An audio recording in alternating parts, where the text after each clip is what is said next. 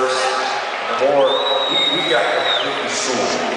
We got school on early, early riff rock by this and his band, uh, his band, The Kinks.